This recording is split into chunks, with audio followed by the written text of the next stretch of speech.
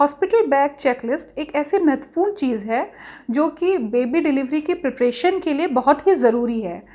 तो आइए इस वीडियो में हम जानते हैं कि अगर आप डिलीवरी के लिए जा रहे हों तो आपको अपने बैग में क्या क्या सामान रखना चाहिए और ये डिलीवरी बैग आपको कब तैयार करना चाहिए।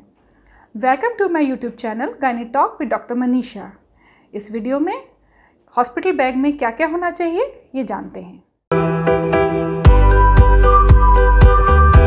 जैसा कि मैंने पहले भी दूसरे वीडियो में बताया है कि जो डिलीवरी डेट होती है, उसी डिलीवरी डेट पे बहुत कम महिलाओं की डिलीवरी होती है। ज़्यादातर महिलाओं की डिलीवरी उस डिलीवरी डेट से पहले हो जाती है। नौ महीने कंप्लीट होने के बाद या साढ़े आठ महीने में या किसी की डिलीवरी नौ महीने जो डिलीवरी डेट है, उसके बाद भी हो सकती है। तो कुछ ऐसा फिक्स नहीं होता कि लेबर पेन्स कब आएँगे, डिलीवरी डेट हमारी क्या होगी। तो बेटर है कि आप इसकी प्रिपरेशन पहले से ही करके रखें। पहले से ही आप अपना एक डिलीवरी बैग तैयार करके रखें, जिसमें वो सारी ज़रूरी चीज़ें हों जो आपको डिलीवरी के वक्त चाहिए। ताकि जब लेबर पेंस हों, क्योंकि लेबर पेंस तो कभी भी हो सकते हैं, दिन में, रात में। तो जब भी लेबर पेंस हों तो आपको इतनी कन्फ्यूज़न ना हो कि मुझे क्या ले जाना है, क्या नहीं ले जाना।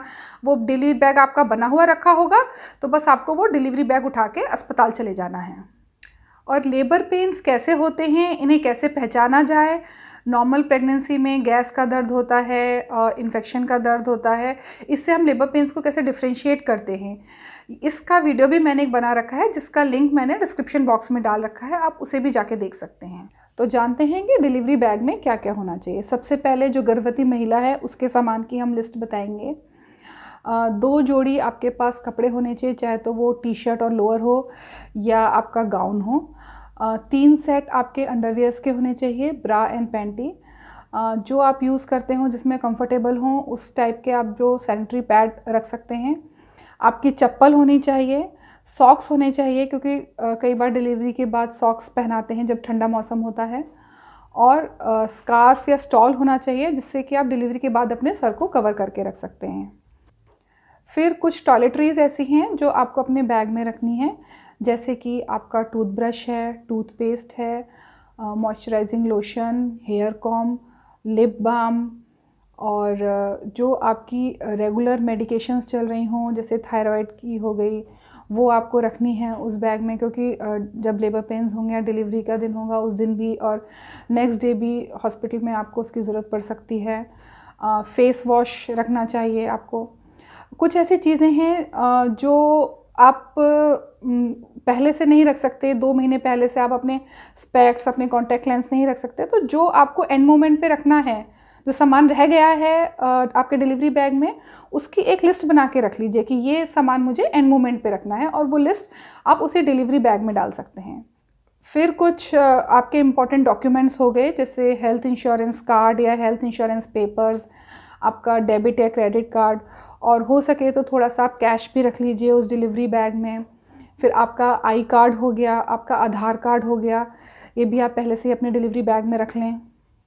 डॉक्टर का जो प्रिस्क्रिप्शन पेपर है और आपके जो सारे प्रीवियस हेल्थ रिकॉर्ड्स हैं, जो भी डॉक्टर ने आपकी इन्वेस्टिगेशंस कराई हैं, वो सारे पेपर्स भी आप अपने बैग में रख लीजिए ताकि जब आप डिलीवरी के लिए हॉस्पिटल जाएँ तो डॉक्टर को आसानी हो आपके सारे प्रीवियस रिकॉर्ड्स वो चेक कर सकें। अब हम बात करते हैं कि न्यूबॉर्न के लिए आपको क्या चाहिए होगा क्या क्या सामान रखना है। तो टू पेयर्स आपको रखने पड़ेंगे, उसके बाबा सूट के और ग्लव्स मिटन्स कैप रखनी पड़ेगी। अगर तो समर सीज़न में एक्सपेक्टेड है डिलीवरी तो कॉटन की कैप चलेगी, नहीं तो अगर विंटर्स में है तो वुलन कैप चलेगी। फिर जो बेबी रैपिंग शीट है या ब्लैंकेट अगर विंटर सीज़न है तो ब्लैंकेट रखना पड़ेगा। आपको न्यूबॉर्न का जो ब्लैंकेट आता है, वो रखिए। कुछ बेबी के लिए जो न्यूबॉर्न डाइपर्स होते हैं, वो रखिए। और एक स्टील की कटोरी और एक चम्मच, वो भी रख लीजिए।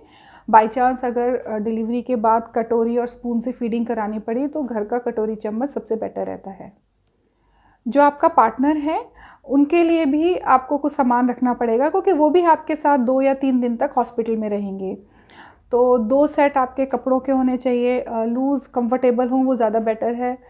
फिर चप्पल हो गई या शूज़ हो गए और स्पेक्टिकल्स हो गए उनके, टूथब्रश, टूथपेस्ट और मोबाइल मोबाइल चार्जर, ये सब आपके पार्टनर को ज़रूरत पड़ेगी। तो ये सब जो चीज़ें हैं ये आप पहले से ही अपने बैग में तैयार करके रख लेंगी तो जो एंड मोमेंट कन्फ्यूज़न है लेबर पेन्स में देखिए वैसे भी थोड़ी एंग्जाइटी हो जाती है। जो प्रेग्नेंट है लेडी उसमें भी और उसके पार्टनर में भी, घर में जो भी घर वाले हैं कि लेबर पेन शुरू हो गए हैं, अब क्या होगा, अस्पताल जाना है, इस सब एंग्जाइटी में कुछ ज़रूरी चीज़ें न छूट जाएँ, इसलिए ये हॉस्पिटल का डिलीवरी बैग होता है। तो इसको ज़रूर आप तैयार कर लें। और मेरी एक वेबसाइट है www.gynetox.com इस साइट पे मैंने ऐसे आर्टिकल्स लिखे हैं जो कि प्रेगनेंसी और वुमेन हेल्थ रिलेटेड इश्यूज़ से रिलेटेड हैं।